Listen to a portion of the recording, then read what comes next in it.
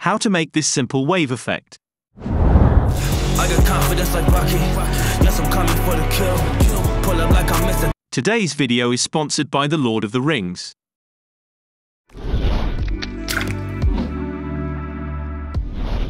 Open your clip in the Fusion page and add a displace node.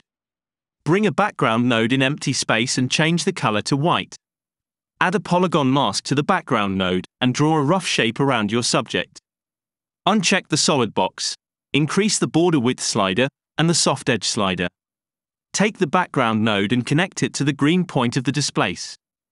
Add a transform node after the background. Move the pivot point to the center of your subject. Now if you adjust the size slider you can create this nice wave effect. You can keyframe it manually to make it exactly the way you want, or if you are too lazy, right-click and select to modify it with anim curves. Go to the Modifiers tab, change the source to duration, and set the curve to easing. Change the in to expo and the out to sine.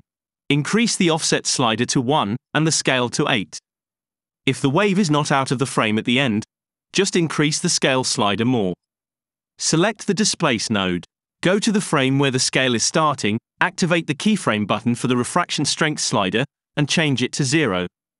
Go few frames forward and increase it to your liking. If you want you can go at the end and increase it even more, this way the distortion will be stronger as the mask is scaling up. Add a glow node after the displace, and bring down the shine threshold to your liking. Connect the transform node as a mask to the glow also. Right-click to the gain slider, and select to connect it to the displace refraction strength.